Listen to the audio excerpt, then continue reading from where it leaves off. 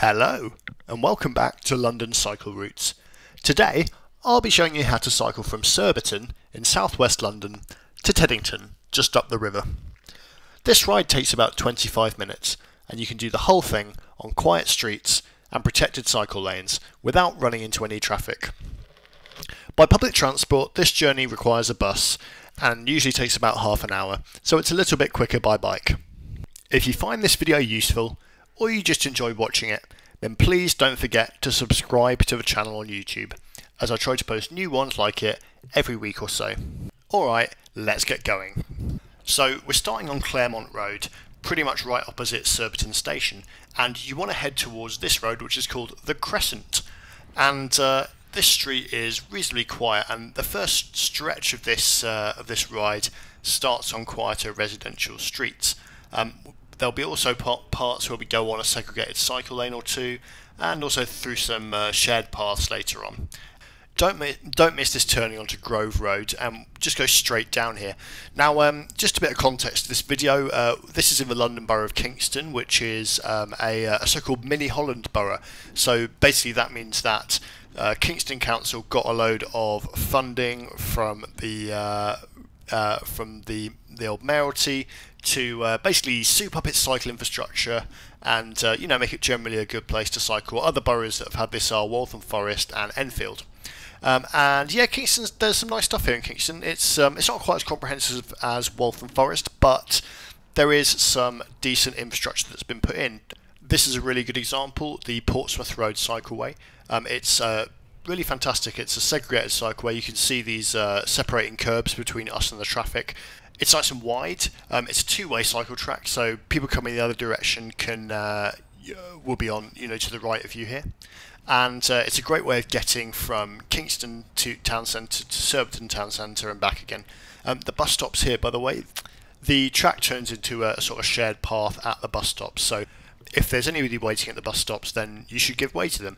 Um, this isn't that's not the best way to do a bus stop. You'd rather that a cycle track went behind the bus stop. It's called a bus stop bypass, but it is a way of saving space. And this isn't the widest of roads, and it's quite impressive that they've managed to get a, uh, a two-way cycleway down here. Um, you can kind of tell that they've I think they've removed the uh, what would have been a pavement from this side, but it doesn't really matter because there's a pavement on the other side. There's plenty of zebra crossings between the two, and of course, there's this really beautiful path along the Thames, um, which uh, you know I think most, most people would rather walk on. And of course, the pavement does reappear at various points there's space. Um, I've walked around here before, and it's not a, a chore or anything like that. It's actually a very lovely place to walk around. So it's great that they could squeeze in this lane here.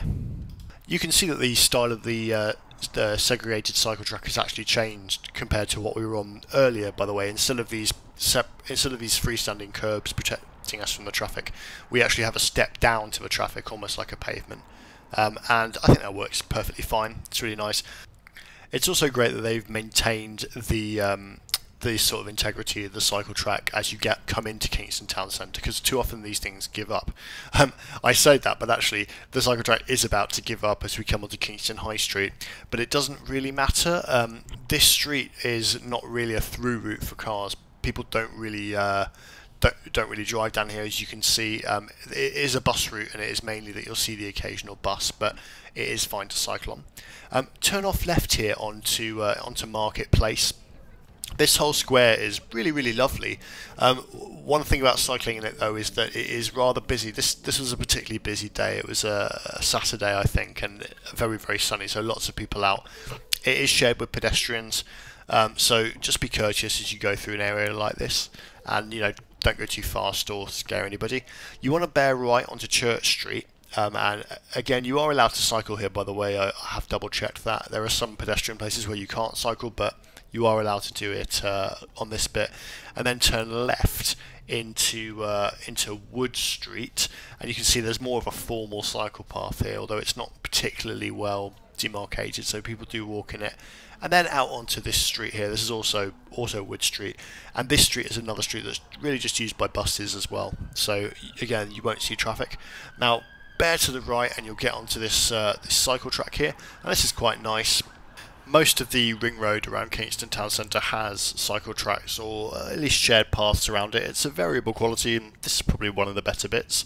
Um, there's a toucan crossing here So we're going over this and uh, another toucan crossing as well. That's a signal pedestrian crossing which also allows cycles.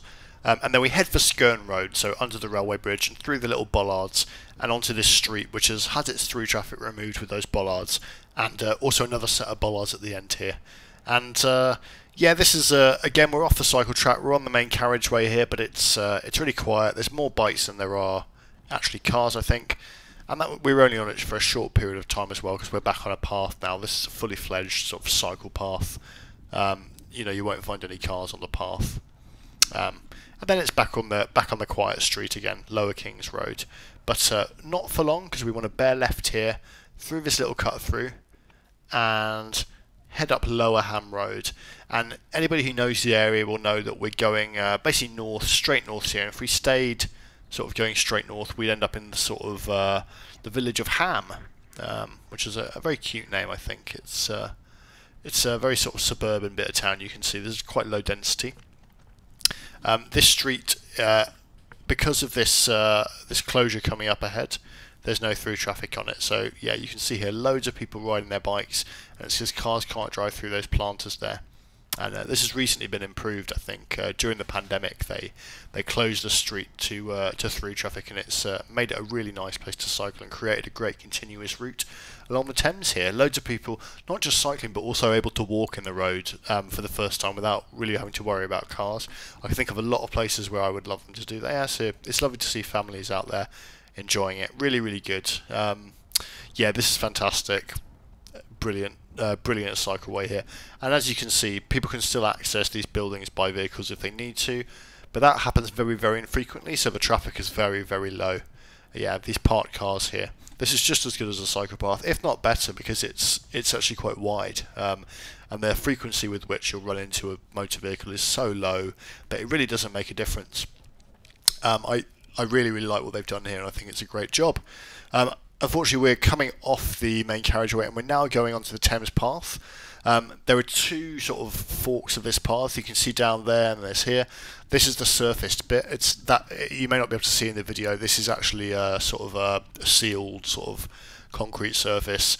It's uh, it's kind of a tan colour to make it look more natural um, than sort of asphalt. Um, if you'd gone down down if you're taking the left fork though, that is more of a dirt track. So um, I'm not even sure you can cycle down there, but you can cycle up here certainly. Um, this is okay. Um, it's uh, it could do with being a little bit wider. So I would say that this is um, probably about as busy as, as it's going to get. You're not. It's not going to be as busy for this. Certainly, if you're you know commuter hours on a weekday. This is a sunny Saturday. There's nowhere else that people love to come on a sunny Saturday than down by the river. Um, this is a really idyllic spot. It's lovely. Um, you know, I'll be, you know, blunt again. This is a shared path. There's pedestrians here. Don't ride too quickly. I mean, obviously this video is sped up, so we're going at a pretty considerate pace here, and we're giving people as much of a berth as we can. I think everyone's being quite nice. Probably wouldn't want to walk down here as a pedestrian, though. I mean, it's it's uh, the path is a little bit narrow. Um, I think it would be where possible if there's any extra sort of highways cash going spare, it would be great to to widen this path by you know a few feet in each direction, and that will make it much more comfortable for the volumes of people walking and cycling down it. If you have to have a shared path, if you can't run a separate cycle path, then it should be nice and wide. That said, I can't complain too much. It's it's pretty idyllic. Um, the river's to your left the whole way. There's nice sort of uh, nice trees. It's really great. And you know, you could use this as a sort of transport solution for commuting to work, or you can just come here to enjoy yourself. It is that nice, um, and that's the nice thing about cycling as well. It's it's both fun but also practical. The uh, the section coming up here um, is a little bit more wooded. So that looks beautiful in the sun like this. At night, um, I wouldn't have a problem cycling down here, particularly if I have lights on. I know that some people don't like uh, more isolated parts of town, uh, they maybe don't like uh, cycling through somewhere where uh, they feel that there's fewer people around. So that's something to take into account here if you're thinking of using this as a commuter a commuter route. That said, um, although it looks pretty, you know, away from everything, it's not too bad. Um, now we're going to use the Teddington Lock footbridge. Uh, believe it or not, this is actually a footbridge that is on the uh, National Cycle Network, uh, or at least the, the, London Cycle Network, the old one. Um, it's a designated cycle route. Unfortunately, it also has big no cycling signs on it, so we're going to obey those. And it also has these chicanes which cause, unfortunately, cause um, huge traffic jams and make it much more difficult than it needs to be. Um, given that what a great uh, great cycle route that this has been so far, it would be really good to have a proper second cycle bridge over the over the Thames here. Um, th- that would be a great use of Kingston's money if they've got any to do it. Uh, uh, there are plenty of places in London which have you know bridges you can cycle on, and given this is a cycle route, it would be fantastic. Um, as it is, it's a nice old bridge. Um, it sort of stops at the reason it looked like it was about to finish and then started again is because it stops at a sort of island, a little islet in the middle of the Thames. Um, but yeah, it's probably for the best not cycling on this. It's a little bit too narrow, um, and you know you might be going going down too quickly. It, it, would actually be physically possible to cycle on it though. Um, it does have ramps going up both ends. You don't have to go down any steps. But uh, yeah, you're not supposed to. I imagine most days, and I don't live around here, so I am not a, I'm not a frequent visitor to the bridge. But I imagine this is probably about as busy as it gets. Um, it is probably uh, significantly less busy most days, but it's a really nice day for everyone to come down to the river. Um, now we're back off it though. And we jump back on our bike and we head straight down Ferry Lane. And uh, yeah, so those of you who uh, uh, know the geography of this part of town know that Teddington is on the other side of the river to Surbiton and Kingston. So that's why we've crossed the river. And uh, we're basically there now. This is Teddington. Um, this section, this isn't really part of the route. This is really just getting into the centre of Teddington, uh, just so you can get to the high street. It looks pretty quiet here. I think it probably gets quite trafficy on uh, on a weekday around commuter time. So I wouldn't expect to be cycling like this on on the main roads. But yeah, we're here now, and uh, uh, it's. Uh, I think that was a pretty decent route. I the the bridge at the end was a bit of a shame because actually I expected to be able to cycle on it because it was a designated cycle route, but it was very clear that you couldn't, and also it did seem a bit impractical given the number of people on it. But apart from that, I'm very impressed with the uh, particularly the Portsmouth Road cycle lane, and uh, the route through Kingston Town Centre was pretty alright. Maybe a bit busy on a sunny day like this, uh, and the path through the forest uh, down by the sort of Ham Riverside bit, that was pretty nice too. Um, and especially the uh, the old road that they sort of converted into a, a, sort of filtered pedestrian and cycles path. That was really good. So.